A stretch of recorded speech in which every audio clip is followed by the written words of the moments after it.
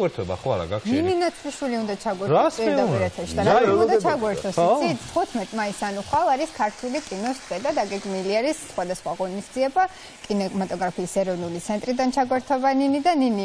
რა არის ხვალისთვის დაგეგმილი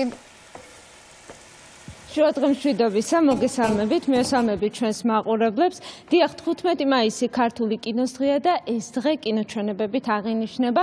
ქართული კინოს ისტორია მე-20 საუკუნის დასაწყისიდან იწყება და ის დაკავშირებულია ვასილ ამაშუკელის სახელთან. სწორედ მას უკავშირდება პირველი ქართული ფილმები და მათ შორის არის ერთ-ერთი პირველი ქართული სრულმეტრაჟიანი ფილმი აკაკი წერეთლის მოგზაურობა რაჭა ლეჩხუმში და სწორედ ამ ფილმით გაიხსნება ხვალინდელი კინომარათონი რომელსაც საქართველოს ეროვნული ეროვნული კინოცენტრი გამართავს. აქვე უნდა აღინიშნოს ისიც, რომ საქართველოს ქართული კინოს 115 წლიანი მრავალფეროვანი ისტორიიდან მარათონის პროგრამა სპეციალურად მაყურებელმა ღია გამოკითხვის მეთოდით შეარჩია და მათ შორის მოხდნენ ისეთი ქართული ფილმები, რომელიც ალბათ ყოველთვის კარგად ნაცნობია, მათ შორის არის დიდი მწვანეველი, არის ასევე რეზო ესაძის ერთი ნახვით შეყარება, რომელიც ჩემთვის განსაკუთრებულად ზით საინტერესო და კარგი ფილმია და ამავდროულად, რა თქმა უნდა, გაციფრულებულს და ახალ ვერსიას იხილავს მაყურებელი და რა თქმა უნდა მარათონი წარმოუდგენელი იქნებოდა ცისფერი მთების გარეშე უფრო მეტ დეტალს მოგვიყვება გვანცა ზაქარაიშვილი რომელიც ახლა ჩემთან ერთად იმყოფება.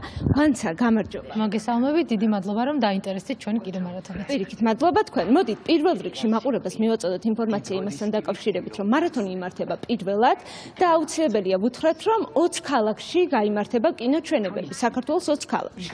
გასაკურველია ქართული კინოს დღეს 15 მაისს ყოველთვის ყოველთვის იმართებოდა ხოლმე კინოჩვენებები, თუმცა ასე მასშტაბურად საქართველოს 20 ქალაქში და ხუთ ქვეყანაში დამატებით ჯერ არ ჩაგვიტარებია. ჩვენ თვითონაც ძალიან დიდი ენთუზიაზმით ველოდებით, რადგან თვითონ მაყურებელმა არჩია პროგრამა. ჩვენ ძალიან დიდი ხანი ვფიქრობდით თუ როგორ უნდა შერჩეულიყო პროგრამა, რომ სამართლიანად ყოფილიყო ყველა კრიტერიუმი დაცული და ბოლოს გადაწყვიტეთ, რომ ეს დღე პირველ რიგში არის მაყურებლისთვის და სწორედ მაყურებელს აერჩია. მოდი გვანცა უთხრათ მაყურებელს რა ფილმებზია საუბარი. პირველ რიგში რასაკურველია თქვენ აღნიშნეთ უკვე რომ აკაკი წერეთლის მოგზაურობით იხსნება ჩვენი კინომარათონი ეს იქნება კინოს სახლში 12 საათზე.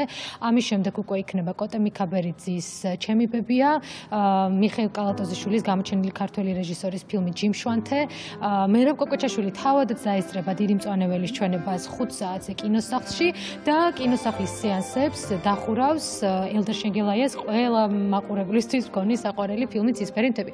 შემდეგ უკვე გადმოვინაცვლებთ კინოთეატრ ამირაში. აი ზუსტად ამ დარბაზში ქეთო და კოტეს ვნახავთ დიდ ეკრანზე 7 საათზე, 8 საათზე გამართება სამი ქართული ფილმის ჩვენება ქვევით სამ დარბაზში.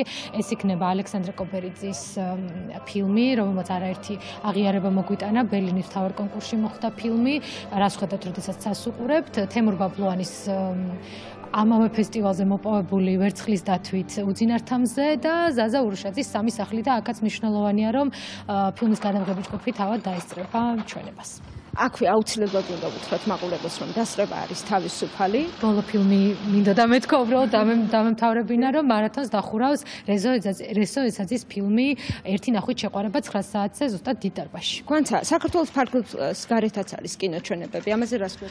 თბილის გარდა 19 ქალაქში იქნება. მე მინდა ძალიან დიდი მადლობა გადავხატო მუნიციპალიტეტებს, რადგან ძალიან დიდი ენთუზიაზმით აიტაცეს ეს იდეა. იქნება ჩვენებები როგორც ღიაცის ქვეშ, ასევე კულტურის ცენტრებში, სხვადასხვა სხვა ლოკაციებზე ჩვენმა თავისუფლება მივეცით ამ მიმართულებით და ასევე ქვეყნის სხვადასხვა ქვეყნის საელჩოებს როგორც გითხარით ხუთ ქვეყანაში იქნება ეს არის მალაიზია, ნორვეგია, ნიდერლანდები, ირლანდია და ავსტრია. გონი ყველაფერი. ძალიან დიდი მადლობა. მაშინ მაყურებელს დავამშვიდობოთ. მე კიდევ დასწრება ის ის კოდ აუცილებლად ინგლისური სუბტიტრები ახლავს ახლავს ყველა ფილმს. დაგემშვიდობებით და შეგახსენებთ რომ ხვალ 15 მაისს გამართება კინომარათონი ქართული კინოს დღეზე, ამიტომ თქვენ შეგიძლიათ საქართველოს მასშტაბით ნებისმიერ კინოთეატრში მიბრძანდეთ, თუნდაც ღია ცისქვეშ და უყუროთ თქვენთვის საყვარელ ქართულ ფილმებს.